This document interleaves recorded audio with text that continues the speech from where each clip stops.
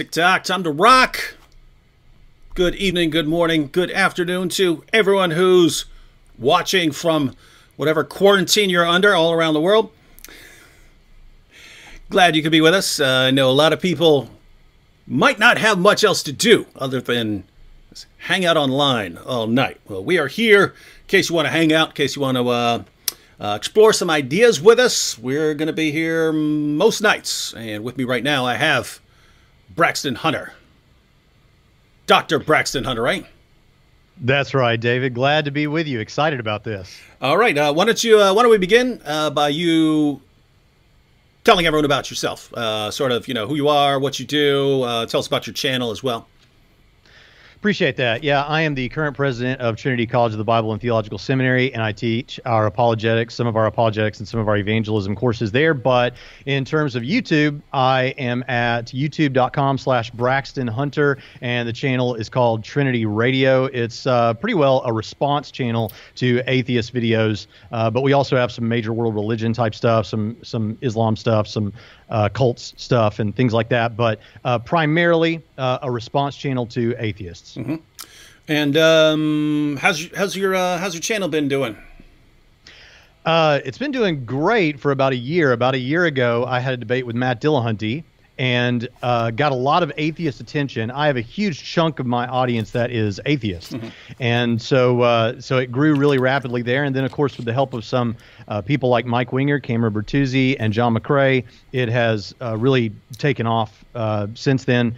And for anybody that's a YouTuber out there and kind of wondering how this works, it took me two years to get to a thousand subscribers. And it's taken me about a year to now get to about 6,300. So there is light at the end of the tunnel. All right, cool. Uh, just wanted to check on sound. Just because Drew Beatty said I cannot hear anything, I'm assuming that is uh, a problem on his end. Does everyone else hear us? Uh, does everyone else hear us fine before we continue? I don't see anyone else complaining about sound, so I'm assuming, but I uh, just want to get a quick verify. Everyone hear us? Everyone hear us clearly? Are our sound levels about even? Hey, where's the comments? Come on. Oh, I forget. There, we're on kind of a delay. It's about a thirty second delay. So yes. okay, so yeah. so uh, okay, good. So Cameron Cameron Bertuzzi's got a comment here. He said sound is good, and that's a high praise coming from Cameron because that is a yeah. that that that's a professional. That's a professional. He's man. always said that about me. He's always said I sound good. um, all right. Well, we are here to talk about the Kalam cosmological argument, as you can see in the comment from uh, Cameron here. By the way, everyone. Um, uh, if you're not subscribed to uh, Capturing Christianity, uh, awesome YouTube channel. He does uh, lots of talks, has has debates on his channel, and so on. So check that out. Also, don't do this yet, but as we proceed through this discussion of the Kalam cosmological argument with Braxton Hunter, you'll find yourself in one of three different categories. Either, wow, this guy has a lot of cool information, I'd like to know more if you're that person, then a link to his channel is in the description box. And then so go and subscribe to his channel for much more of the stuff because he makes videos regularly. Or you'll be like, eh, I don't know, I don't know. In which case you could go either way. Or you'll be like, what the heck? I can't stand this dude. I can't stand listening to him. I would much rather listen to just David all day long. In which case, just just just stick with me here. All right. so understandable.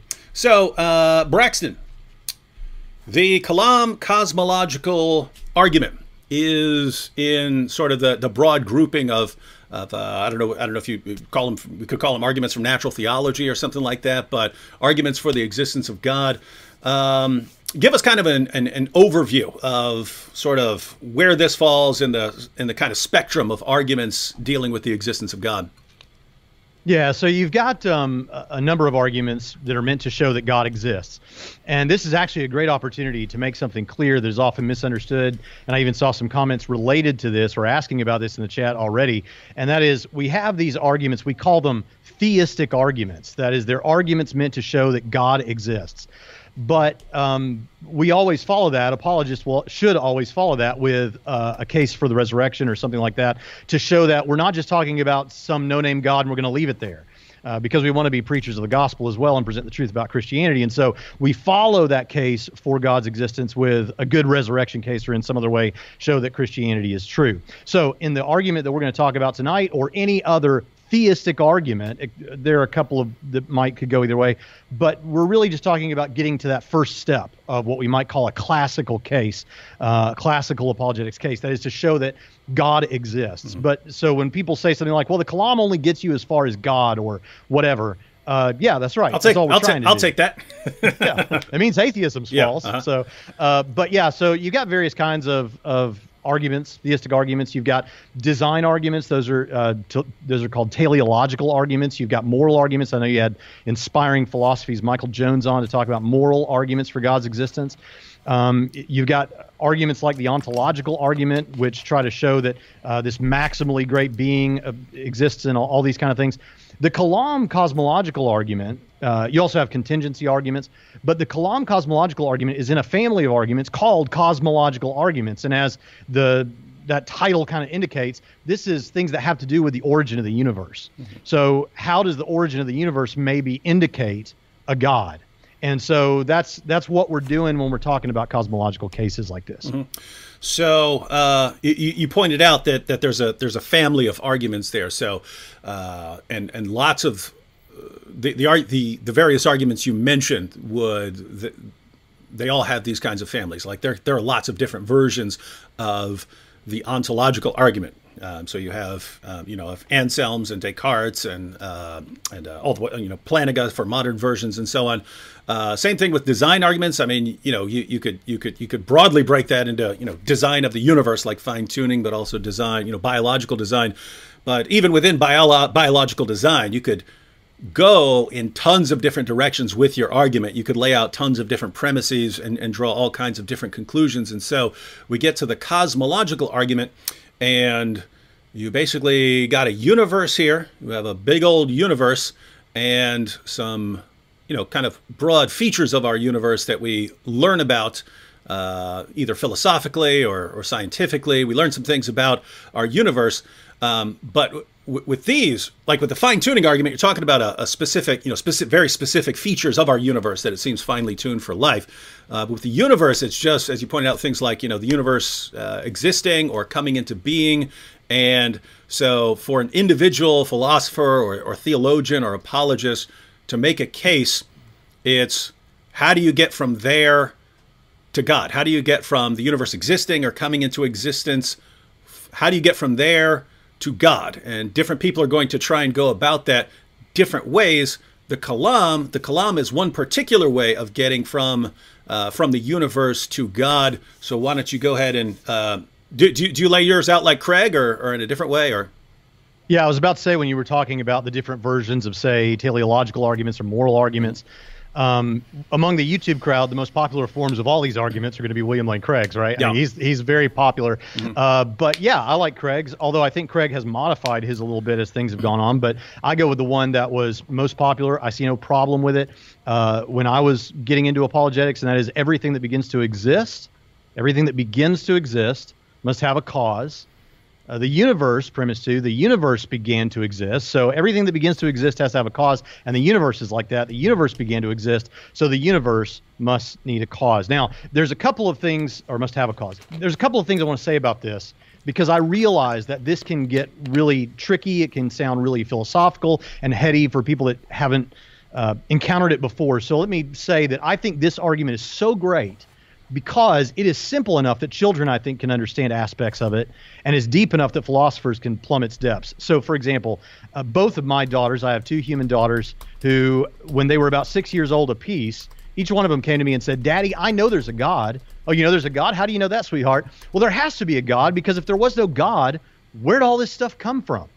And so, as six years old, children are already picking up on this sort of an idea obviously we don't want to leave it there that's not good enough but then it's it can be robust enough and complex enough that philosophers can debate this and and uh, all that sort of thing so uh, another interesting thing about this is I don't know of another argument, and maybe I'm wrong. Maybe you would disagree with this, David. I don't know of another argument that has received such vitriol and hate in the YouTube community from atheists, from from the atheists that I've encountered, and I, I don't know what to chalk that up to um, except that maybe it works. Maybe mm-hmm. it's a mm-hmm. really good one. I don't know.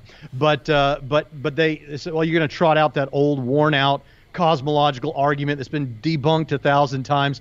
And the reality is, I've never seen that debunking. And as I said in my debate with Matt Dillahunty, uh, I know that's something we share in common. In my debate with Matt Dillahunty, I said, yeah, because if it ain't broke, don't fix it. And it ain't broke, folks. So, yeah, so the kalam is everything that begins to exist must have a cause. The universe begin, began to exist, so the universe must have a cause for its existence. Now, what many people will say right there is, now hold on a second. That means it doesn't get you to God. All it gets you to is a cause. It doesn't get you to this uh, personal creator or anything like that. So, just a little uh, little pro tip here that I use is whenever I say that I'm going to bring the kalam, I say I'm going to bring a case that begins with the kalam, mm-hmm. because every apologist always will then take that conclusion that the universe has a cause, and then do a conceptual analysis or what is that cause like that gets you, I think, to God. Mm-hmm. All right, so. Uh, yeah, and and and Craig, Craig does this as well. So Craig will defend premise one: whatever begins to exist must have a cause. Uh, he'll defend two, the universe began to exist, and therefore the universe must have a cause, but then he'll go on to describe what this cause must be like, right? So you've got, we know that there's a cause of the universe, but if you know that something is causing the entire universe, then you can start to figure out things about this cause, and that cause starts sounding suspiciously like God. Um, That's right. All right, so I, I went ahead and put it up on the screen in a comment. I posted my own comment I posted a comment and then I uh, I put my own comment up on the screen. But I have here whatever begins to exist must have a cause. Two, the universe began to exist, and three, therefore the universe must have a cause. So everyone, uh, do you see how the conclusion there, the universe has a cause, uh, has to follow if those first two premises are true. So we don't know that it follows yet. Um, I mean, I'm assuming most of you are going, of course, whatever begins to exist must have a cause. And of course, the universe began to exist. So yeah, uh, obviously the universe does have a cause. But if you come from some sort of background where you really, really, really want to avoid the idea of the universe having a cause, then you have to you have to find a problem with uh, with either the first one or the second one. And uh, and um, uh, Braxton, uh, I, I want to start formulating. I want to start formulating these arguments, kind of uh, my own take, because uh, because my kind of take on these is, and, and you know, before you even before you even defend either of these premises, once these premises have been defended, for a person to object, for a person to object to these, I want to say basically I have to throw out all rational thought, right? If I if I if I don't know that whatever begins to exist must have a cause, if I if I if I can't say that, I, I give up. I give up on. I, yeah. If you're if you, Mister Atheist, are telling me that of everything I've learned, of everything I can figure out and understand about how things work, if I cannot say whatever begins to exist must have a cause, if I can't say that, I'm done. I give up. But I want to say that about about kind of all the arguments, right? Like if I can't say that given that level of complexity in biological systems or in DNA, if I can't say that that level of, of intricate design requires an intelligent source, I, I, give up. You're telling me I just need to give up on trying to reason because if I can't say that, I can't conclude anything about about anything. Um, all right, but where do you want to where do you want to start here? You want to start with a uh, I mean, yeah. premise one would be an obvious. Well, part. yeah, I think so, and I, would like to comment on what you just said. So, um, children, I think, pretty early on, come to understand this sort of cause and effect situation in the universe. It's only whenever they get older and get PhDs in philosophy or something, they start thinking something like that things can come to exist, you know, without causes. So my daughter, I ran an experiment when my daughter was about nine years old, nine months old. My my oldest daughter, I wanted to run an experiment and see if she had developed the dexterity to catch a ball if I tossed her a ball. And so I had this this ball and I tossed it to her, and uh, it hit her in the head and she toppled over. Not a good experiment to run on your daughter. Not a very Christian experiment. Um, but don't worry, it was a it was a soft ball. I mean, it wasn't a soft ball, but it was a soft ball. And she fell over, but as soon as she fell over, she did something brilliant that told me my daughter's going to grow up to be a philosopher. And that is she began to look around for what had caused her to fall over. And she saw the ball. But then she did something even more brilliant than that. She looked around for what had caused the ball to fly through the air, causing her to fall over, and she saw me with my hand up like this. And she figured it out. Mm. And so she caused something all her own in retaliation a dirty diaper, which then caused me to call out to her mother to come change the dirty diaper. Now, isn't that an elegant expression of cause and effect? and the point is that nine months old kids understand that. But when you get to a PhD in philosophy, you start thinking things like maybe things can happen without causes. So, or yeah, or or real or really, I mean, what what what I really want to say is, um, this this certain this certainly isn't isn't all atheists, but the the you know a lot of the kind that you know come and post mean comments to us. Really, it's of course I take for granted all my life that whatever begins to exist must have a cause. I know that I've known it since I was you know since before I could remember thinking about anything, and of course the universe began to exist. Exist. I took science, you know, I took I took physics class. I, I know this stuff. Uh, but therefore, the universe must have a cause. Oops, I didn't want to go here. So now, all of a sudden, I have a problem with uh, with whatever you know begins to exist must have a cause. Now, I have a problem with that, and so it's not. Hey, there's an actual problem with the premise. It's a problem with the conclusion. And since I want to avoid the conclusion, I now have to go back and take premises that I would have granted all my life until I start until they were used by a Christian a Christian uh, philosopher or a Christian uh, apologist. As soon as a premise starts being being used by you guys, I have to I have to suddenly become skeptical about that thing that I would have never been skeptical for one second of before. Yeah, that's. I think that was beautiful. And as I always say to my atheist audience, there are some very sensible folks out there. And if the shoe doesn't fit, don't wear it. If mm-hmm. that's not you, I'm not talking to you. So um, I think one of the challenges that comes uh, pretty regularly to this is they'd say to you, David, um, hold on a second. What you seem like you're saying, David, is all of my experience bears out that things that that you know the things that happen or begin to exist have causes but that's just the fallacy of composition. What that means is, you know, the fallacy of composition says, look, uh, dogs are made by uh, made of atoms. Atoms are invisible to the naked eye. Therefore, dogs are invisible to the naked eye which of course is not a sound argument, right? It is true that atoms are not visible to the naked eye, and it is true that dogs are made of atoms, but that doesn't mean that dogs are invisible to the naked eye. And that's what we call the fallacy of composition that what's true of the parts of something isn't necessarily true of the whole. So they'd say, yeah, it may be true, David, that everything that happens or begins to exist in the physical universe has um, some sort of a cause, but that doesn't mean that the universe itself has a cause. So the response to this would be, okay, fair enough um, it, still, to put a little gravy on this thing, it is relevant to say that 100% of our experience is that when things start to happen or begin to exist, there are causes, um, and that's the, and we have zero counterexamples to this. But that's not actually why we hold this. We don't say everything that we look at seems to have causes, therefore the universe does. It's more like this. When we're talking about the universe, let's just cut to the chase with premise one. We're really talking here about the universe ultimately.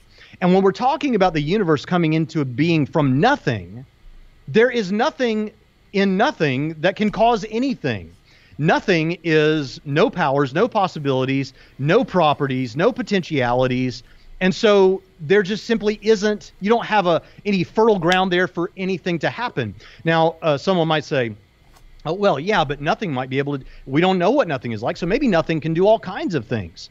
But we're not talking about nothing in in some as a label for something out there. We're talking about not anything. And I love when William Lane Craig says it this way. He says, "What if someone said uh, nothing stopped the German advance?"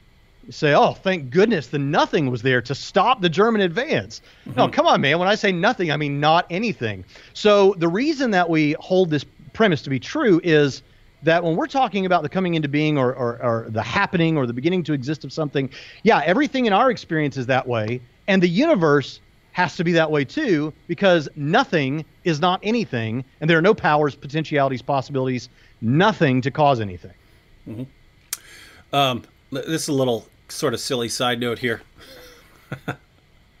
uh, but uh,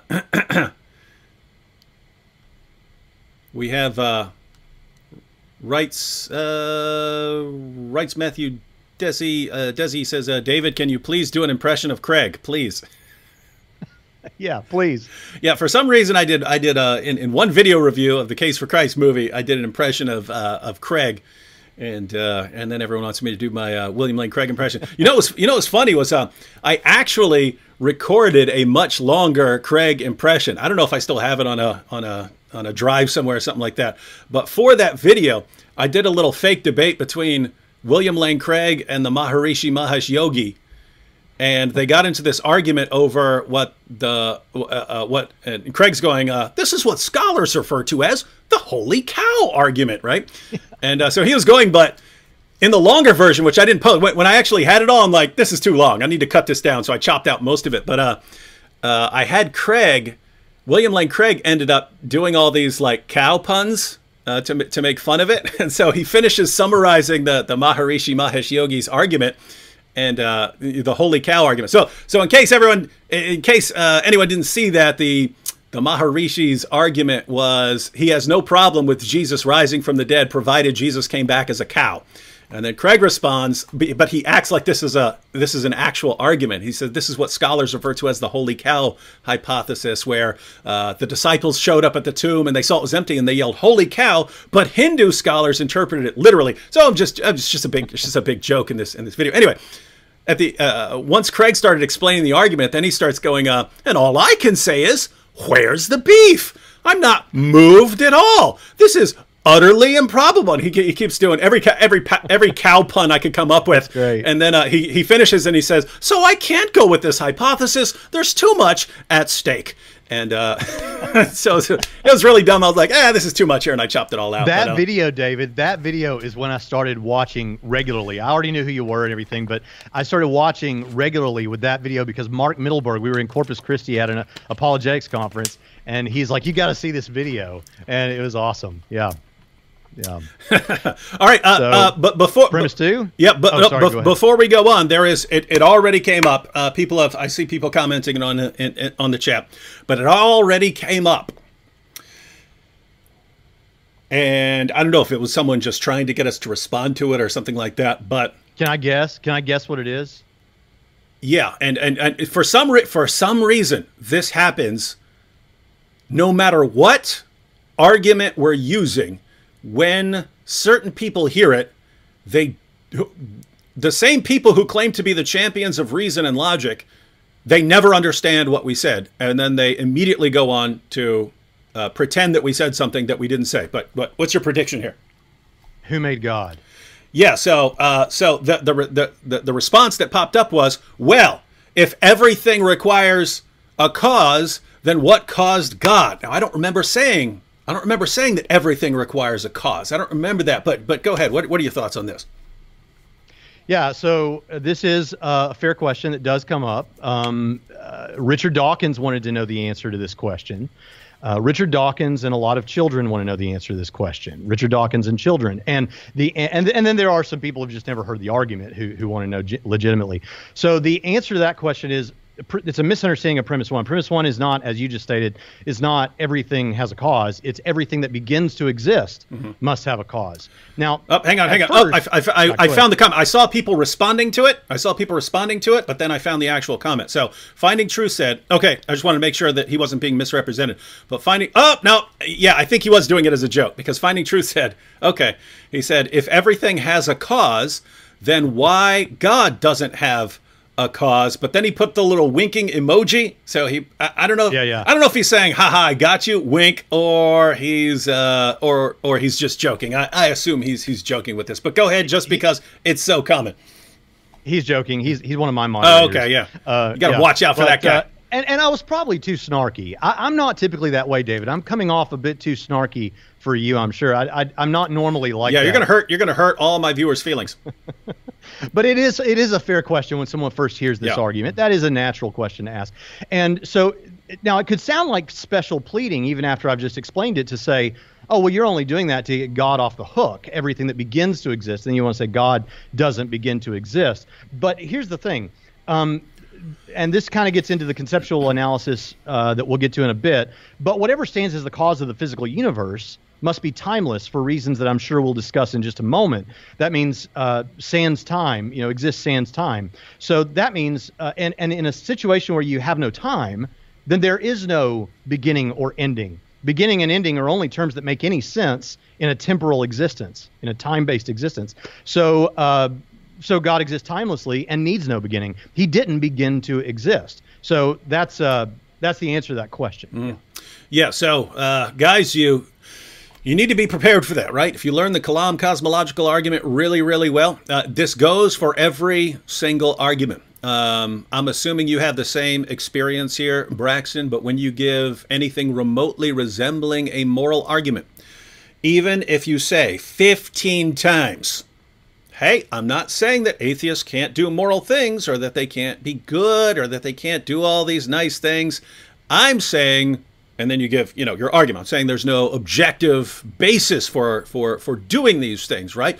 Uh, automatically automatically you start getting the messages. Ah you're saying that an atheist can't do good things without god. Ah, or or you can't do you can't do good things without believing in god. Well let me refute that. I can do great things and stuff. And it's like guys how do you misinterpret every single thing we say you know i think you could actually make an argument an argument based on a sort of clouding of the mind or a spiritual blindness, just based on no matter how clearly you state these arguments, very, very not not just not I'm not just talking about really dumb people. I'm talking about the highest levels of atheists will still completely misinterpret what you're saying and will come back with something like, "Oh, well, you said that everything has a cause. So what's the cause of God, right?" Um, or you're saying we're all we all we can't be moral or something like that. So there, there's there's something at work here, right? Because I, think that's a you know, you know Christopher Hitchens, not to speak ill of the dead, but Christopher Hitchens was notorious for that. He would sometimes have two debates in the same week, and both debaters would bring the same moral argument, and he would misunderstand it in precisely the way you just described. And what was great, the movie Collision, which was kind of a documentary with him and Douglas Wilson, in the same movie, he he does that multiple times with the same guy. Um, so yeah, I I resonate with that. And so, uh, finding truth here again, he says uh, he met us at EPS, me, uh, me and vocab here. Um, all right, one quick, uh, one quick uh, question here from Michelle Marie. Uh, Michelle Marie said the atheists criticize because this is along the lines of the Kalam. she said the atheists criticized David after the debate with Dillahunty, stating that David is so in love with the the the ignorant Kalam argument he is just using that old straw man because he doesn't know anything else. They called it a straw man lol. uh, I've, I've noticed that the Dillahunty crowd will call anything a straw man, right? If you just restate what he just said, that's a straw man. if you take what he said and then point out an obvious necessary implication of what he said, that's a straw man. But yeah, I guess they're calling entire arguments there. I wasn't using the argument. I uh, what, what, what I what I said during the debate was, uh, these uh, atheists what the, what they've what they've done what the, the system they've developed over time is to adjust their levels of skepticism. And so when it's something that they want to believe or something that makes them feel good I, I, they're kind of like intellectual like uh, hedonists or something like that right? Like it's it's along the lines of I haven't decided what to call them yet but if I like something and something makes me feel better about myself and about my own position and makes me feel superior to other people, then I lower my skepti- I lower my skeptic my skepticism down to one, and I don't need any real defense of it. I'll just I'll just believe anything anyone says as long as it fits in with that. But if it's something they don't like, you know, like God or Christianity or something like that, they'll dial their skepticism all the way up to 10 so that nothing can possibly qualify as evidence. And what happens then is they will start denying premises that they would otherwise grant in a heartbeat. And so they'll start denying that the universe began to exist or that whatever begins to exist must have a cause. They'll start denying these things. And guess what? One, there's nothing in there that's a straw man. That that's one. The argument can't be a, is definitely not a straw man. But two, that's exactly what they do. That is exactly, precisely, 100% what they do with all these arguments. No matter how hmm. clear, no matter how indisputable. If you take something that is clear and obvious and indisputable, such that no rational person in the history of humanity would deny it, if you then build an argument for the existence of God based on that, all of a sudden we can't know, we can't believe that. That's total nonsense. No, only a fool would believe that thing that's obvious. Um, all right, so those are, yeah, those, that's, those are so my much, thoughts. There's so much I want to branch off with, but I know we'll never get through the kalam if I respond to that. Yeah, yeah. So you want to go back to, uh, want to go back to, uh, well, premise two now. Yeah. So the universe began to exist. Now, uh, with this, you know, there are those guys. I, I'm one of those guys that doesn't pretend to be a scientist. I'm not a scientist. Uh, there are apologists who do not hold degrees in things related to science, but have nonetheless studied this enough autodidactically that they can talk intelligently about it. And I probably know more than a lot of people do about that sort of thing. But but I, but I'm not a scientist. I agree with Craig that the best defenses of the Kalam are the philosophical ones. The most clinching ones are the philosophical ones. In fact, we will get, if not in this chat, in the comments, someone will say, but the physicists don't agree with you, Braxton and David. The physicists don't go along with this. And if Sean Carroll, the physicist, doesn't go along with you on this, doesn't that say something when you guys are just apologists? Well, here's the thing um, physicists, not all physicists are philosophers. And so when it when we're coming to the philosophical defenses, uh, someone who is just a physicist is ill-equipped to respond to some of these philosophical mm-hmm. uh, arguments. And so you know you got to stay in your lane a little bit when it comes to that. So, but with premise two, my favorite defense of premise two is also one of the most deeply philosophical and difficult things to get about this whole discussion, and that is, um, what what the skeptic will say. The the only alternative to the universe began to exist is the universe has existed infinitely into the past. Mm-hmm. That there was no beginning. It's just always existed, mm-hmm. and um, that the problem with that is when you think about what it means for the universe to be past infinite. Um, so past in a, a, past infinite amount of time causes all kinds of problems. And i know that for many of the apologists listening this is going to be old hat but but here's the thing. When we say something is infinite we're talking about infinites. We are talking about not a really big number. You know we colloquially mm-hmm. will say well there's an infinite number of grains of sand on the beaches of the world but there's not. not there's even, an actual number. Not even close. it's an obscenely high number, but there is a number. Same with stars in the sky. No, yeah. no, no. There's not an infinite number. Yeah. There's, in fact, go ahead. Oh, I was, I was just yeah. going to say you can all you can you can even go down to to to atoms or subatomic particles. The number of the number of atoms in the universe is around 10 to the 80th power, right? So 10 to the 80th power. So that's a number. You could sit down right now and write out 10 to the 80th power. You could you could write the number down. That is that is the number uh, of atoms in the entire universe. So you could write the number down. When you're talking about inf- when you're talking about infinity, you're you're you're not even you're not in the same realm. Yeah, yeah. And let let's amp it up. Let's say there's there's a multiverse and there's as many universes as as atoms you just mentioned, and then as many more atoms in all those multiverse. There's still a number. When we're talking about infinite, we're talking about there there it's forever and ever and ever and ever and ever, and there is no number. There is no end. It just goes on forever. So now, if we're saying the past is like that, then we run into some serious problems. Two primary problems that I like to point out. Number one is uh, you, that means you have no first right? There, if it's past infinite, there's no way to start. There's nowhere to start from for time to start going to get to the point we're at right now. So how would we ever get to this moment if there was no starting point, if there was no first moment? Uh, people will often say, well, yeah, but you can draw a line and put a point on that timeline. Yeah, you can. But if the past is infinite, how'd you ever get to that point? Mm-hmm. So it, a good image for this, since I realize it's kind of difficult, is imagine a hole with no bottom to it. How would you jump out of that hole? And don't say anything creative like, well, maybe I could ninja off the walls. That's not what we're saying here. There is no bottom to that hole. How do you jump out of it? You can't. So that's problem number one. Problem number two is no matter how, let's say you could get started, no matter how far along that timeline you went, you would still have infinite to go. You'd have made no progress. And there are a lot of analogies for that. The Hilbert's Hotel is an analogy that comes up a lot, but I like one that's simpler than that. Um, and that is the infinite library. So if you had a library where there's an actual infinite number of books, and every other book is black and every other book is red, let's say you took out all the red books so that all that are left are black books. Now what number do you have? You still have infinite. You haven't changed things one bit. Uh, so if you could somehow take away half of infinite, you'd still have infinite. If you added three, you'd still have infinite. If you subtracted 57, you'd still have infinite. And so you run into these mathematical absurdities, but the practical cash value of that is if you were trying to go along the timeline to get to this moment we're inhabiting in this live stream right now, you could never do it. You could never arrive at this moment. And so the past cannot be infinite like that uh, if we got to this moment. Yeah, and so uh, it's basically if the uh, no matter how you look at premise two, that uh, the universe began to exist, and again, no, there's, I mean, one, once we found out about something like the Big Bang, uh, you wonder why anyone would question it. Of course, you already had, you already had the Kalam before that, before we could show that sort of thing scientifically. You already had the the problem of pointing out um, the the impossibility of traversing an actual infinite.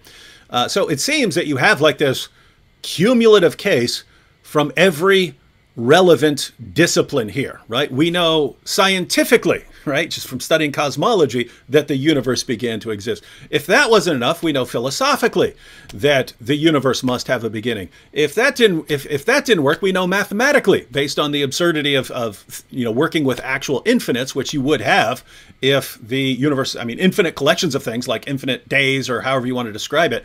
And so everything everything we use in our reasoning to come to a conclusion about something, uh, about the universe or something like that, that's what you got, right? You got science, you got math, and you got philosophy. Those are the areas we can go to. All of them would say, of course, the universe began to exist.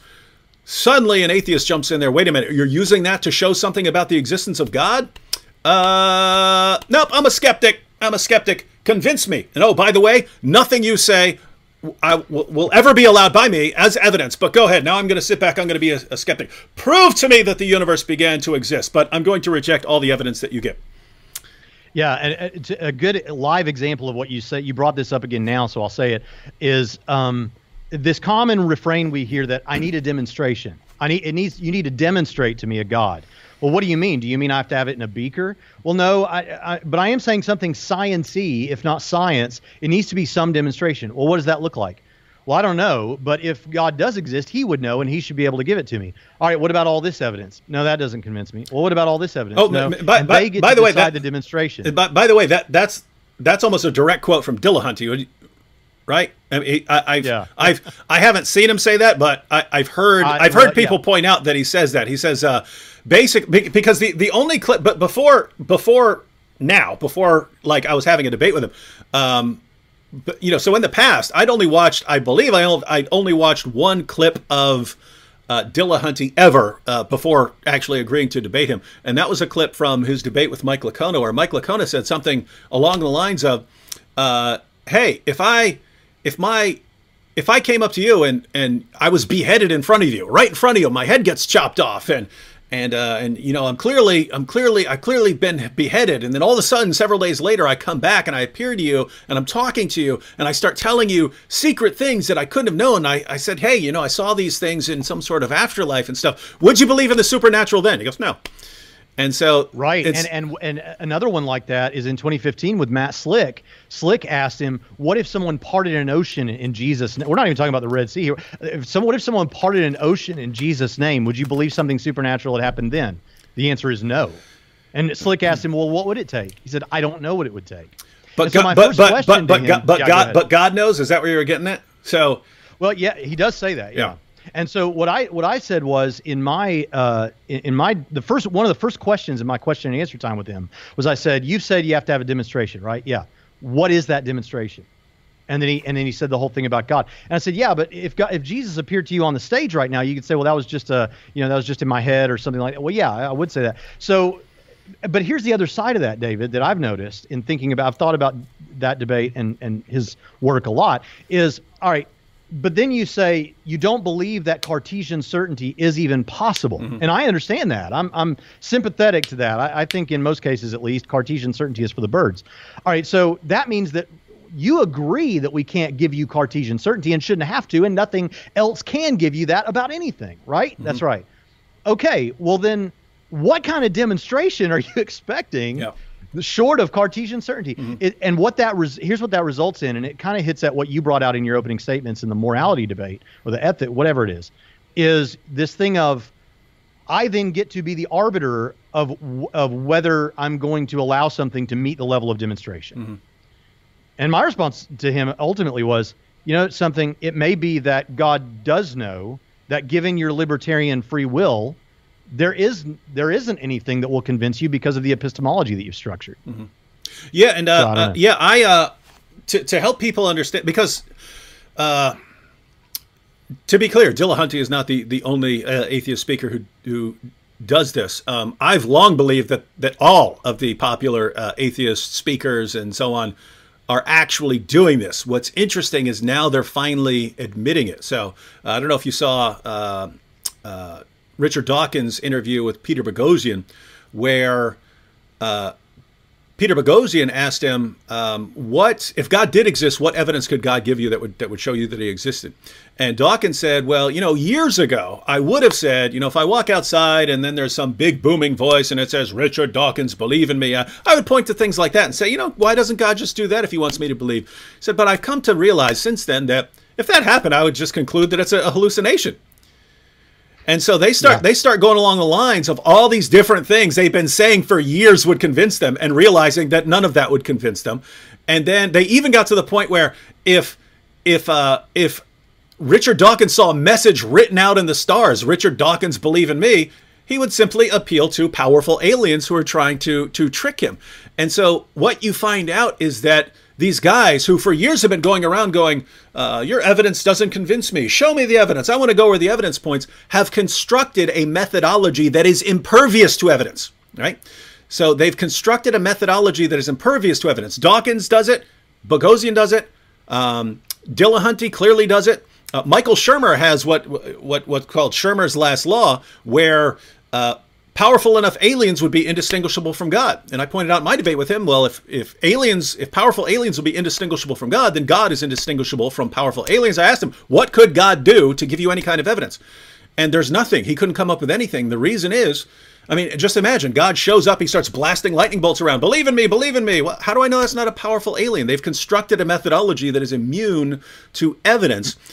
But at the same, I, I think you could actually make a rule out of this. I haven't decided what to call it yet. I want to make a video on this, but it's basically this. If if Richard Dawkins is going to reject any evidence no matter what, then Richard Dawkins rejecting your argument tells you nothing about the quality of the argument, right? If, if it's if it's if it's a slam dunk foolproof argument, he's going to reject it.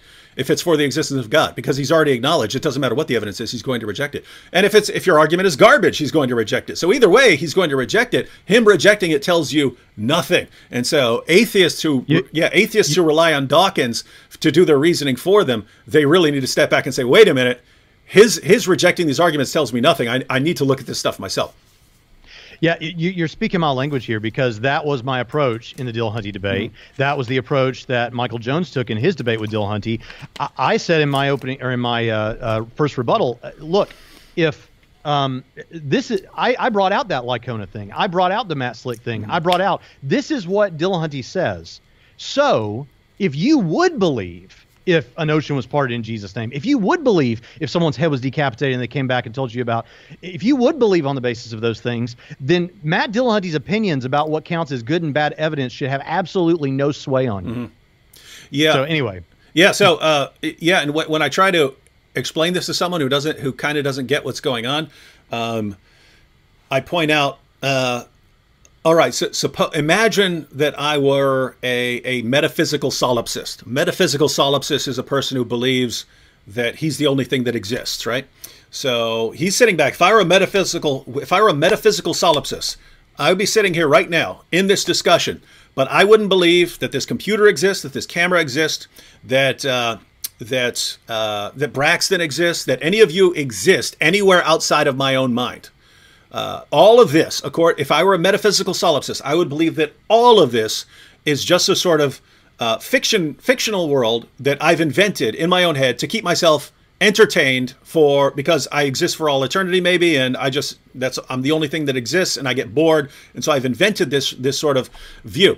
Now, if someone adopts that system to where everything you're saying, everything I look around me and see, it's all a figment of my own mental entertainment system what evidence can any of you give me that I'm wrong? Or that what evidence can you give me that you exist?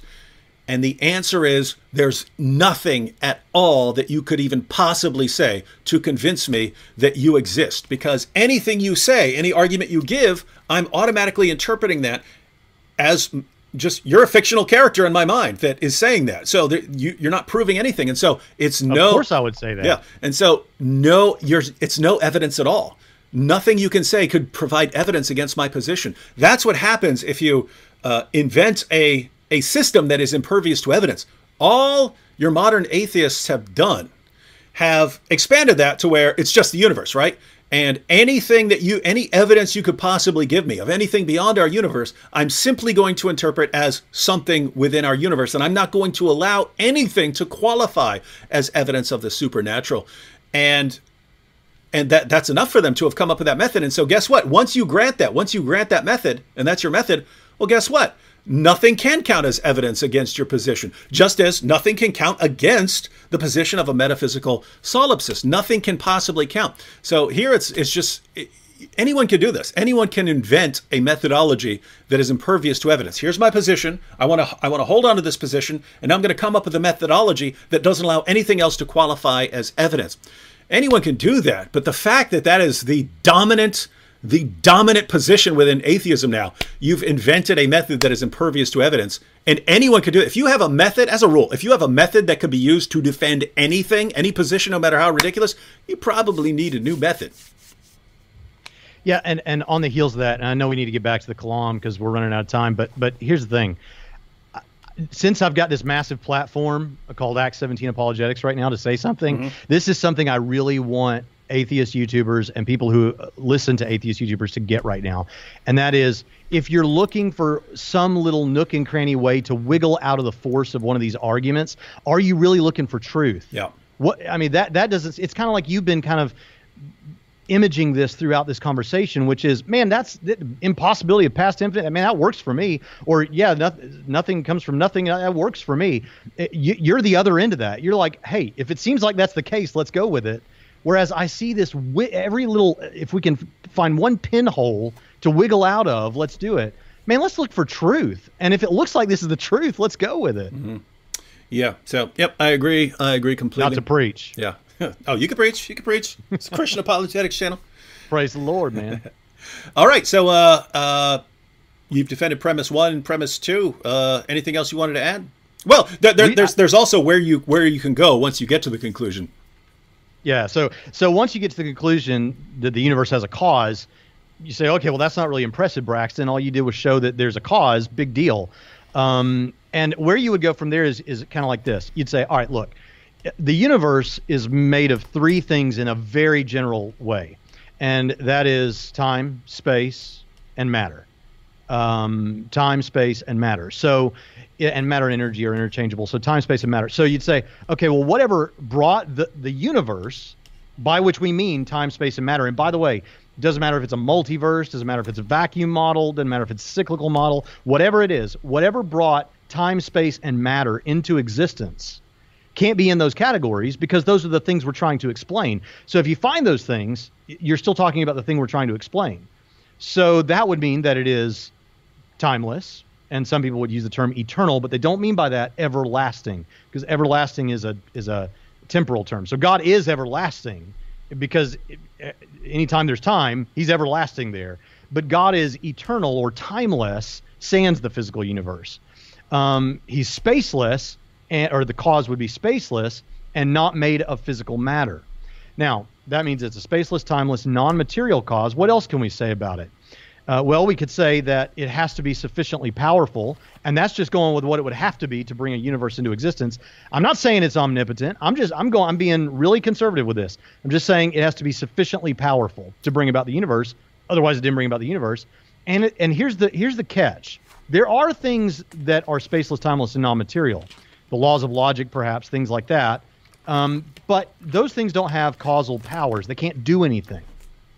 So you need something that can do something. Now, this is this is where I differ a bit from Craig, although I think Craig would agree with this. I can't speak for him, but Craig would say, look, it has to be able to decide to create the universe from nothing. You have to go from a, a so you've got kind types of causation. You have um, event event causation, like my punching my computer screen breaks my computer screen it's an event that leads to another event. You have state event cause you have state state causation like a, a, log resting on a frozen pond there's a state leading to another state. But what we have here is state event causation. You have a state of timeless nothingness leading to an event the beginning of the universe. An agent causation personal agent causation would fill that role. But i think we can actually go a step further and, and here's where i would go with this. Whatever the initial cause must have been must have had libertarian freedom. And the reason I say that is and it means they had to have free will because there was no prior determinism to work on it to make it do anything. And it wasn't random because it resulted in a workable cosmos.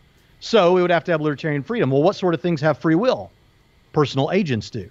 So there's a couple of reasons to think it's a personal agent, and there are no good alternatives. And it seems like this must be the explanation. So you have a spaceless, timeless, non material, sufficiently powerful, exceedingly wise personal agent. And that is what every Jew and every Christian has always meant when they look at Genesis 1 in the beginning, God.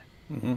So, timeless, spaceless, immaterial, personal agent. That's why we said it starts to sound suspiciously like God when you start looking into what sort of cause would be required to create the universe. Although, let, let me let me ask you this: I've always wondered. I, I know Yeah. I, I know the question. The the the, the it, it's the claim is sufficiently powerful to create the universe, or just really really powerful, uh, powerful beyond anything we can fathom because it could create the universe, but not um, the the claim usually isn't omnipotent. But I I just been thinking to if you could bring an entire universe into existence out of nothing right? Not like not just working around the universe or you're doing something with the universe or tinkering with the universe but actually saying okay there's nothing here. Bam a universe. If that's not um, if that's not in the category of omnipotence i don't know what is right? Like if, if, if i were to come up with some test of omnipotence take nothing Right. and turn it into a universe that would be okay all right you seem omnipotent now Yeah, the response to that, I think, and I know you know all this, but the response to that is typically, well, how do you know it's not a cause that could create one universe but not 10 billion universes? Mm-hmm. And so there would be something it couldn't do. But I'm with you. But, you know, I mean, here's the thing.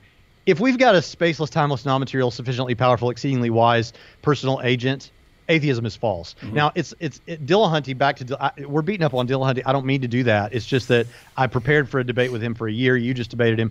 But here's the thing he often says, How do you know that's a God? How do you know it's not a group of universe creating pixies that did all that? That, that, that, that- Okay. that one that one goes back to Hume. Hume Hume used something similar uh, to that. and so I've, I've called it the Pixie Parade. I've I've grouped. Uh, one of our listeners is cataloging all the things. So you've got a computer, you've got a pixie, you've got a cheese sandwich, you, all these spaghetti, spaghetti monster. You've got all these things that could have caused the universe. So here's here's the problem. Um, okay, let's go with your spaceless, timeless, non-material, sufficiently powerful group of pixies.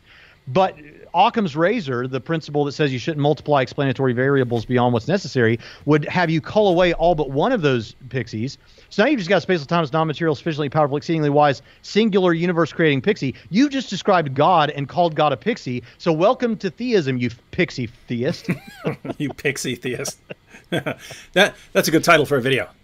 Yeah, Matt Dillahunty, the pixie I should theist. do that. Yeah. yeah. All right. Uh, so we guys, you have any questions about the Kalam cosmological argument? I know uh, Hexata sent me a couple questions ahead of time. Should we jump into those? Maybe if we jump into those, they'll come along with other questions. Okay, so uh, yeah, um, and Hexitas had some kind of uh, technical technical questions, but we'll go ahead and see what Hexitas came up with. All right, so here we go. I'll go ahead and read the whole thing, and then we could sort of take them one at a time. Um, and I know it's partly covering us up, ladies and gentlemen. It's a big, uh, it's a big, uh, big thing, and you can't read it if I don't make it big. Um, some objections. So I basically sent out to uh, channel members here and so on beforehand. Uh, hey, you have any questions about uh, things we're going to be talking about this week? And these were the questions on what we're talking about right now. Um, some objections and questions regarding the Kalam cosmological argument. One, does the argument work without assuming a dynamic theory of time, a theory? Two, in what sense is God actually infinite, and why doesn't that pose a problem for the argument? The most potent version of this objection might be one that applies. And by the way, guys, if, if any of this is confusing, we will we will we will be breaking we'll break it down. We'll break it down exactly what he's saying, and you can all get this. Uh, the most potent version of the of this objection might be one that applies the concept of actual infinity to the number of propositions known by an omniscient God. My proposed reply would be that God's knowledge is not ultimately divisible to discrete propositions, but rather is the direct knowledge of the truth as an all encompassing unified whole, even if it may be useful for us to analyze it by dividing his knowledge to propositions. And three, the argument is credited to medieval Islamic philosophy, but apparently there is an earlier version by the Christian, though possibly heretical thinker John Philoponus. Have you studied his version? Should Christians reclaim the credit for this argument from medieval Muslim philosophers? All right, just going to the first one here. Does the argument work without assuming a dynamic theory of time? A theory. So, uh, for, for people who are uh, confused about that, you have A theory of time and B theory of time. I'm not an expert on this, but. Uh, and um, and Braxton, you can correct me if I'm wrong, but uh, A theory, this is why he calls it dynamic, is the view that we're we're in the present right now, and the past is is is past, and the the future hasn't gotten here yet, and so things are changing. We're sort of moving along. We're sort of moving along with time. And B theory of time uh, again, anyone can correct me here because I'm not positive about what I'm saying. B theory of time is more along the lines of no, there's just one, time just is, it's just one constant uh, present. I think it's called eternalism. But it, it, the sort of uh, succession of time of events and so on, that's kind of an illusion to us. It's sort of a psychological, uh, it's sort of a psychological illusion. It seems like we're moving through time, but it's all just, you know, it's all just one, one, one big, massive present. And so the the the question is do you need something like the A theory that we're actually moving through time? And so it makes sense to go back and talk about you know things that happened in the past or something like that. Or uh, does it work on on either theory yeah so yeah so simply put and i'm not restating i'm only restating this to get it clear in my mind mm-hmm. so the a theory says that the past was real but it's not real now. Like you can't go to 1964. It's not real now. It was real. It's not real now. The present is real, but won't be real later. And the future will be real, but it's not real yet. Whereas the B theory says it's all real. Um, and this is where you get trouble with using tenses to describe it. But it's as though there's a snow globe with the entire timeline in it, mm. and and it's just all there simultaneously. Um, but again, tenses get problematic. Now, interestingly, uh, I, I, want to believe in the B theory. I really do because it's only as a science fiction fan, it's only on the B theory that time travel is actually possible because there's really a past to go to or really a future to go to right now. So all your science fiction stuff rests on a B theory of time.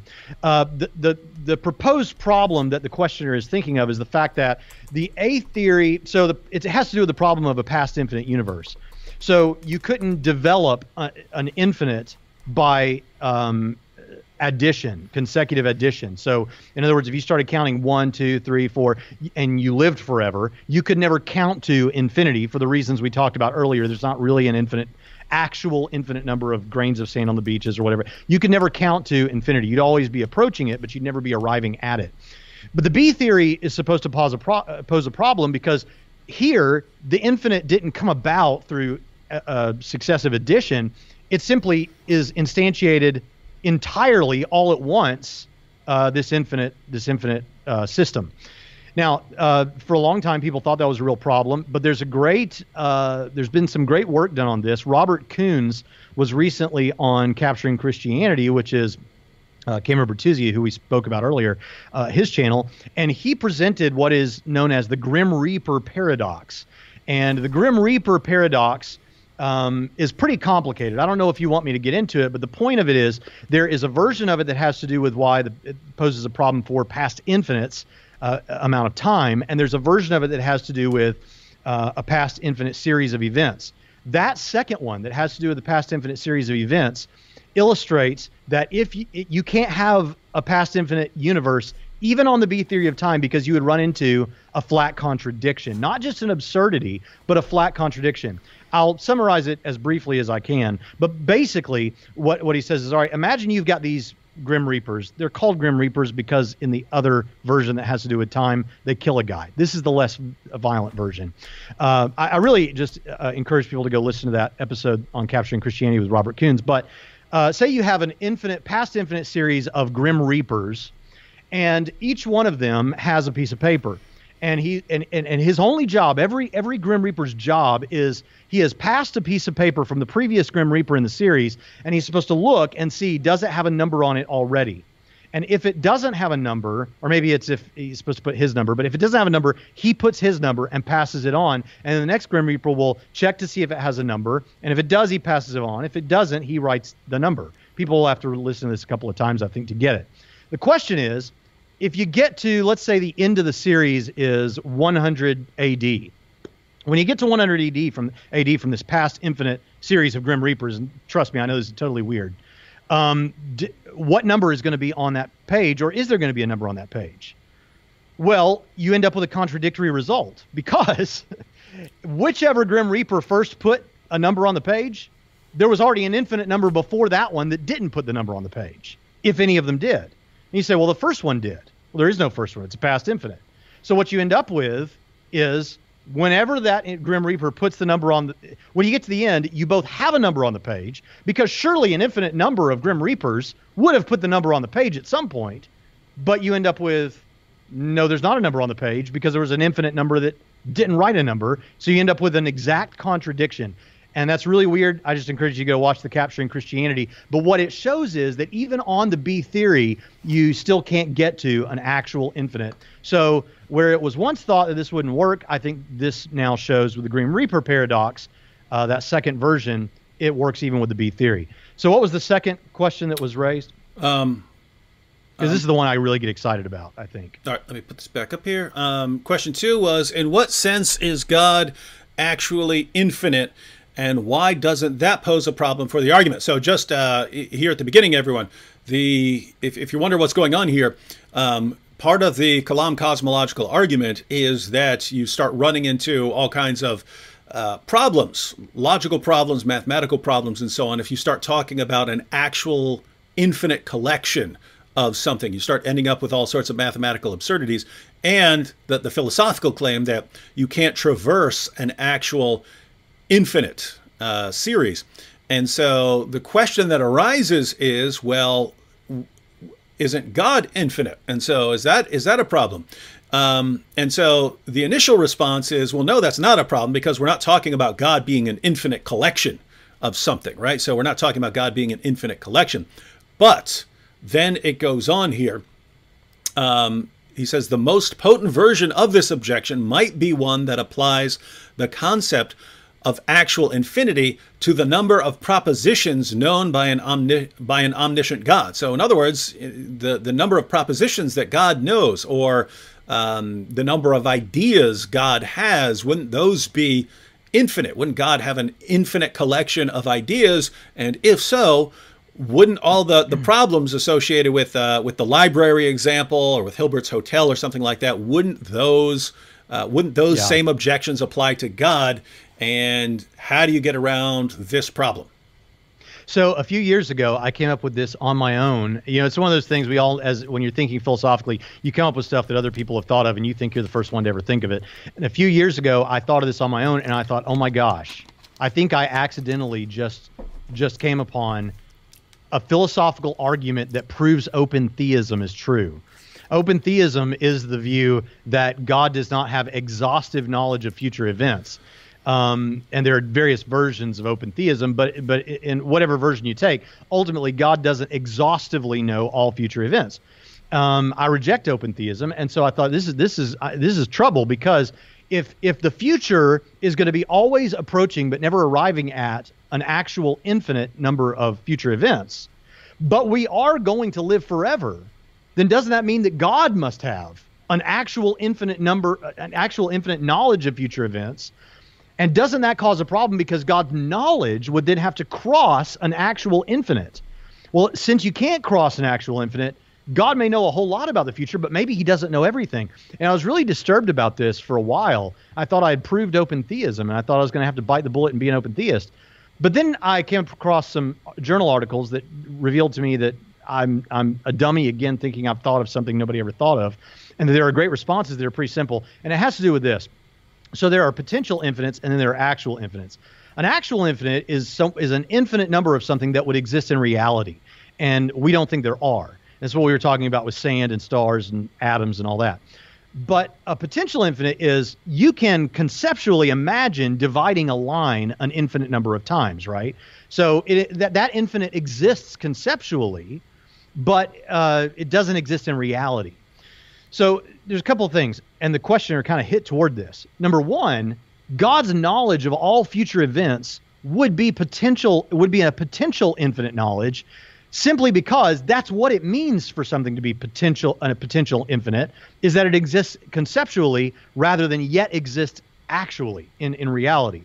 But there's a second issue to this, and this is what the questioner I think was hitting toward, and that is an omniscient being it has all the knowledge immediate like simultaneously. So in the in, sans the creation of the physical universe god exists timelessly and he's not thinking through i'm going to create the universe i'm going to create the universe i'm going to create it now. And he's not reasoning through when would be the best time we have to think that way because that's actually a process of learning where we think through what we already know to arrive at a conclusion about what we should do. God simply has all that knowledge instantaneously. And here's where the rubber meets the road. So he doesn't have to think through things, he just knows it as a set. So the example that was given in the journal articles that I think is great is you and I, David, and all of the listeners are currently aware of all the numbers between 1 and 100, all the whole numbers between 1 and 100. So if I ask you what number comes after 47, you don't have to cross all the numbers prior to 47 to then arrive at, oh, now I know it's 48. You simply instantly know that it's 48. The same as if I asked you what are all the 10s 10, 20, 30, or what's the next 10 after 30, 40. You just know that. And God's knowledge would, of the future events would be like that. It would be a potential infinite, and He knows it as a set, so He doesn't have to cross an infinite to arrive at an answer. He just knows it instantly and can access it like that. And I think that pretty well resolves the problem, and I still uh, happily reject open theism. Oh, glad you reject open theism. Uh, all right, Hexitas, you can let us know what you think of that. And let me go and finish. Uh, I didn't. I didn't read his entire second point. So uh, Hexitas said, "My proposed reply would be that God's knowledge is not ultimately divisible to discrete propositions, but rather is the direct knowledge of the yep. truth as an all-encompassing, unified whole. Even if it may be useful for us to analyze it by dividing His knowledge two propositions. Uh, and three, finally, the argument is credited to medieval Islamic philosophy, but apparently there is an earlier version by the Christian, though possibly heretical thinker John Philoponus. Have you studied his version? Should Christians reclaim the credit for this argument? uh, from medieval Muslim philosophers. So, as far as I know, I think he had a heretical view of the Trinity. I think it was uh, declared heretical uh, because of that. But he was responding to the pagans of his time, many of whom, uh, like like atheists recently, claimed that the universe has existed from all eternity.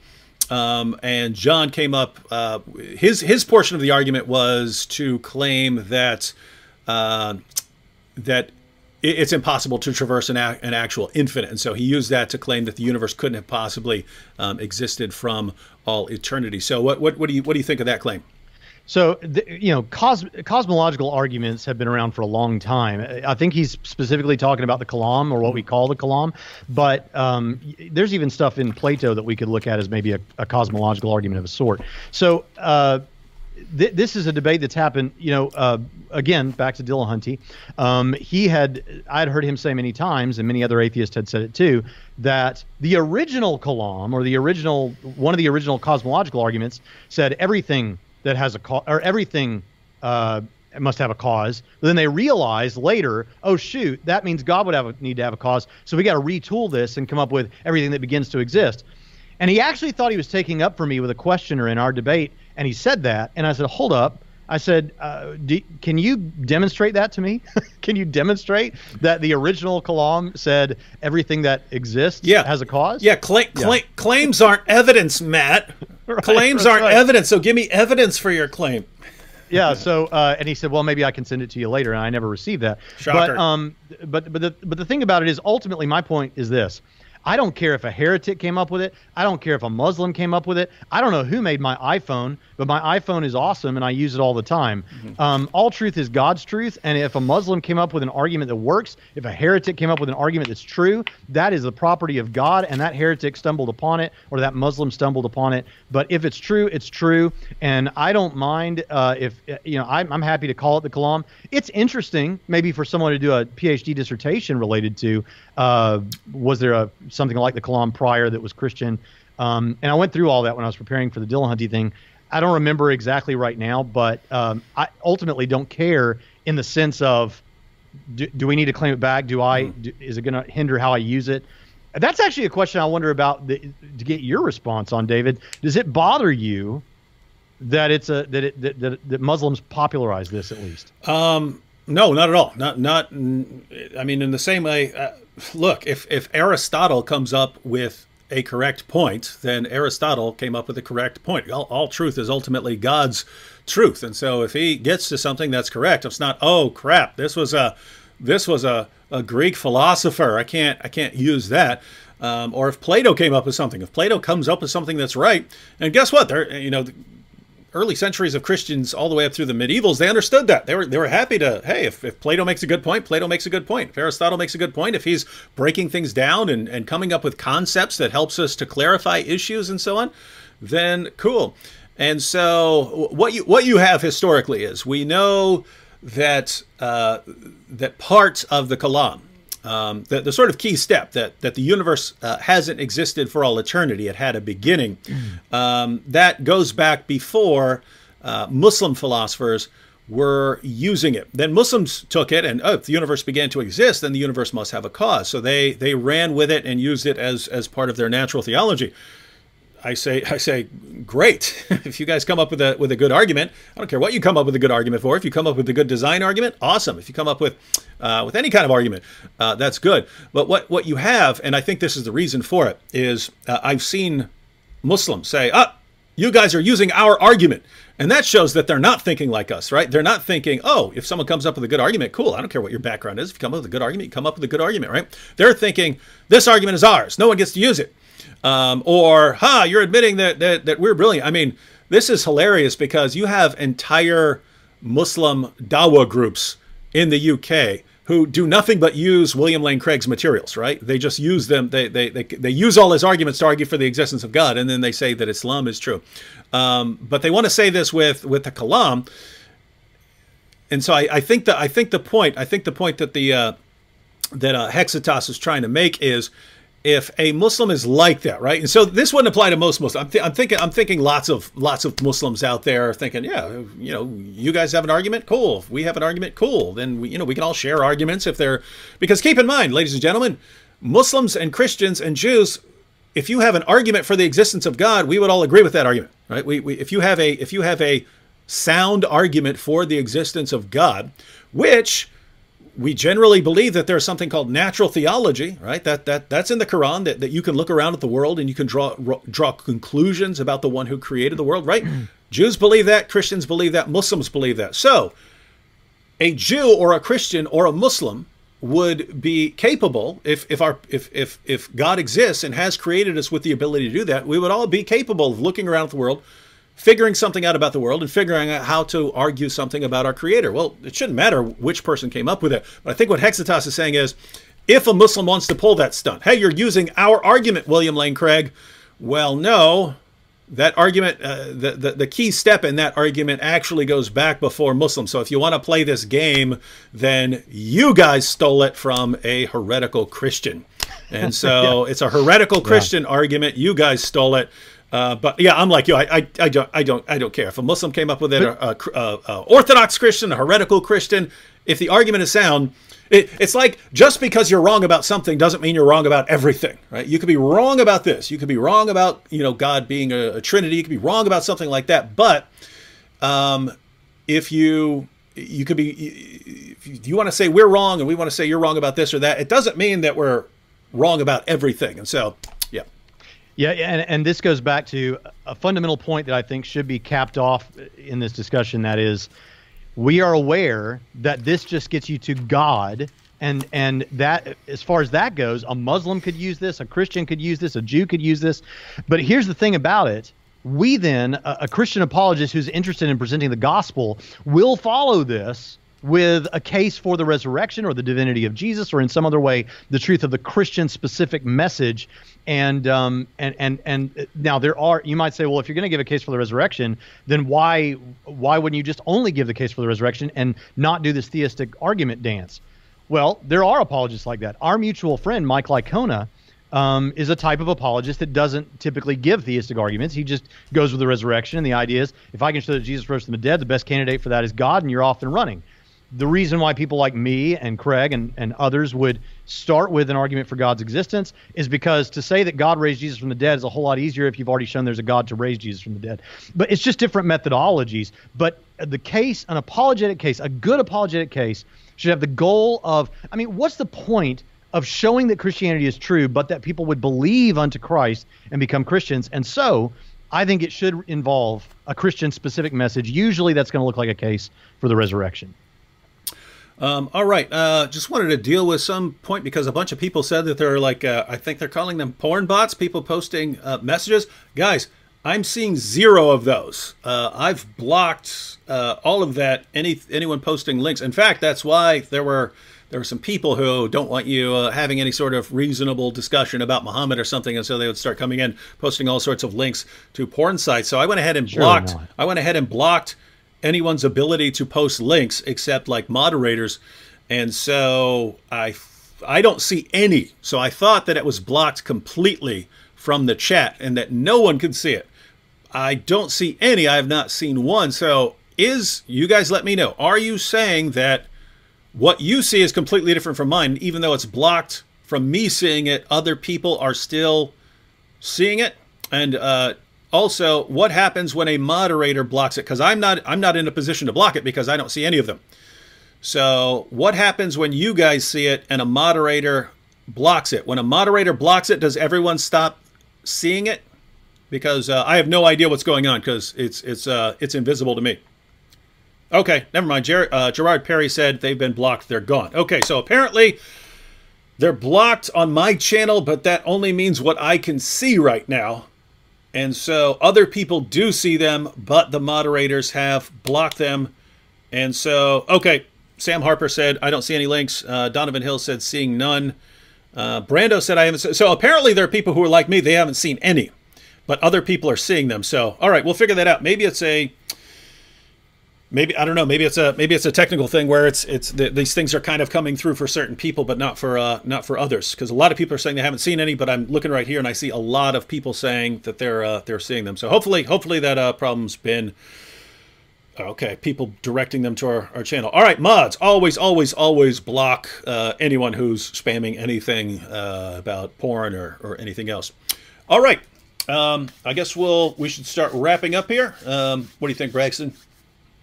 Uh, it's just been a blast, David. I really appreciate this. I love talking about this argument. I don't care how many atheists say this is an old, tired, worn out argument that's been debunked. I haven't seen that debunking. And for my money, this is the best theistic argument, in my opinion. Things appeal to people differently. You know, uh, a lot of people like the design arguments, some people like the moral arguments. This is this this is the thing that if I ever do have an intellectual doubt, this argument almost completely resolves it immediately, um, at least in terms of God's existence. Because I, I just it it shocks me that anyone after hearing and understanding this argument and the design argument would still would would, would be an atheist. You, you may not be a Christian, but at least I don't know how you're still an atheist. Yeah, uh, I've noticed I noticed something similar with a lot of a lot of atheists, especially certain ty- certain kinds of atheists. Now, now, guys, just to be clear again, we've already said it, but since we've noticed that lots of atheists do misinterpret everything we say, um, there are atheists that are some of the most brilliant people I've ever met. Right? Um, I was at a, a philosophy conference and and uh, just listening to a lot of Massimo Pigliucci. That guy is smart. Oh, really, yeah. really, really, really, really insanely smart. If you read one of his books, you you do not understand how smart this guy is until people are sitting there and raising objections and arguing with him and stuff. This guy's smart. Um, so we're, we're not. I'm not talking about people like that. Uh, there are a lot of much sloppier thinkers. What was funny was that was in, that was a that was a conference primarily of atheist philosophers who are complaining about how stupid a lot of the leaders of the new atheist movement were, right? So they're they're basically saying, "What do we do about this? These guys are like embarrassing." These guys are so embarrassing, but they're the ones that are becoming popular. And we spend years trying to dissect arguments to get to the best case we can. And no one cares about that, but some guy just goes around blurting out these little atheist memes and slogans, and atheists around the world uh, rally around. What, what, what do we do about this, right? Because they regarded it as, as massively, uh, massively embarrassing. But um, what you have is, uh, it's, I say it's, it's similar to something you have in Islam. Muslims, many Muslims have never grasped the difference between successfully refuting an argument and, on the other hand, saying something in response to an argument, right? Those are two different things. One, I've refuted your argument. I've shown that premise one is false, or I've shown that premise two is false, or I've shown that the conclusion does not follow from the premises. I've shown something like that. That's how you refute an argument. Or you just say, you know, I don't think you've proven this point or something like that, and therefore I can't I can't accept the conclusion until you give a better case for that or something like that. But here are the problems with it. Doing something like that, right? What I find what what what Muslims are what Muslims often do is you give them an objection or an argument, and their guy will say something in response to it. and his fans will just take that as a, as a decisive refutation. It doesn't matter. He could say the the dumbest thing you've ever heard in your entire life, but as long as he has said something in response to it, they say, "Up, oh, you've refuted it." I've noticed a parallel among a certain kind of atheists that as long as the atheist speaker says something in response to what the Christian said, uh, it's a decisive refutation. I'm saying that because lots of people pointed out to me. Um, I didn't watch the debate, but a lot of people pointed out to me that in order to avoid the claims of the disciples and so on, the witnesses of the risen Jesus, Matt made the claim um, claims aren't evidence. Claims aren't evidence, right? And so that's the, and so his followers will go, that's right, claims aren't evidence, right? Without ever bothering to think and actually consider, is that a good response? Or is that the stupidest thing anyone has ever said? Claims aren't evidence. My goodness, why wasn't this the guy? Why wasn't this the lawyer for Bill Cosby and Harvey Weinstein and Jeffrey Epstein, right? Well, members of the jury, these women, all these women are making these claims, but as we all know, claims aren't evidence. What evidence do they have apart from their claims? None. I rest my airtight case, right? This guy would be like the ultimate lawyer for for rapists, right? If he if he could actually convince them of stuff like that and actually stack the jury with his followers, right? But they don't think about that, right? It's just anything you say that is a response to the Christian, we're 100% on board, case closed. Now we get to make fun of you for uh, for trying to make a case, not realizing you're so dumb, you didn't understand that that that that claims aren't evidence, right? So that's what's going on with, with something like the Kalam cosmological argument is they'll say things, they'll say things um, uh, to reject whether you know uh, something can can come into existence without being caused, or they'll say things about the universe not having a beginning but not giving any real defense. And then as soon as they say anything, they just, up, oh, we've refuted you. Up, oh, I can't believe you're still bringing up that dumb argument. And then they'll all work themselves up into a frenzy of mockery. And once they've got that frenzy of mockery, it is very difficult to say, to get a word, uh, a reasonable word in edgewise, because now it's just a, it's just a fount of, of mockery and so on. And what can I say, man? That is, that seems to be modern atheism in a nutshell mockery is a very very powerful thing and uh, you know, there has to be substance behind the mockery, and there is a lot of mock. I, I think, I think there are some some YouTube atheists out there who are trying to grapple with well alex malpass who just debated craig on capturing christianity. This is this is a more sensible atheist who's is aware of the philosophy I mean, he's a philosopher but the, but there's a lot of youtube atheism out there that it's just rhetoric and mockery. And it's not all again if the shoe doesn't fit don't wear it I'm not talking about you, but there's a lot of that out there. And I think that mockery is extremely effective, mm-hmm. especially with people who are doubting. Um, I, have had people recently tell me they were they they had serious doubts because of YouTube comments, and the YouTube comments that they're pointing to, it's just mockery, it's mm-hmm. just rhetoric. So mockery is powerful, but if you're going to use it, have something behind it. Yeah, guys, uh, if you you watch my channel, you know I'm all for mockery, but there's always substance, right? The the the mockery is a vehicle, a package to get an important point across. There are other people who use mockery as a substitute for ever having a point, right? They don't have a point, they don't have an argument, they don't have a case, but if they mock enough, it sounds like they know what they're talking about, and uh, and they just don't. Um, all right, well, thank you, uh, Braxton, for joining me again, everyone. The there's a link to Braxton's uh, YouTube channel in the description box. So, he, he, how often, how frequently do you do you post? Once or twice a week, or how? two or three times a week? Two or, two or three times a week, mm-hmm. and uh, just just just describe the kind of content you make uh, for for everyone it's typically response videos to atheists. Um, it could be on any number of things: resurrection, philosophical arguments for God's existence. I stay away from like young Earth creationism uh, when they're respond. When an atheist is attacking young Earth creation, I don't really deal with that stuff. But uh, the sort of things that we're talking about here and Bible stuff, but it's usually response videos to atheists. Mm-hmm. And uh, John Beaver said, "Tell Braxton I just brought I just bought the Chronicles of the Adonai and have ah. read about three chapters so far." Awesome. That's my first volume of my fiction series. oh, okay. I have several books, but I wrote a trilogy of, of fiction books that include apologetics. Oh, cool, cool, cool. All right. Well, uh, thanks everyone for joining me. I will be back tomorrow, I believe, with Tony Costa and maybe someone else, and we will be addressing more. Also, later this week, uh, I think Thursday, I will have a victim of coronavirus live, so we can actually all talk about coronavirus and what uh, what it's like and and so on. So anyway, those will be coming up. And uh, again, thanks to uh, Braxton Hunter for joining us. Subscribe to the channel and catch you all next time.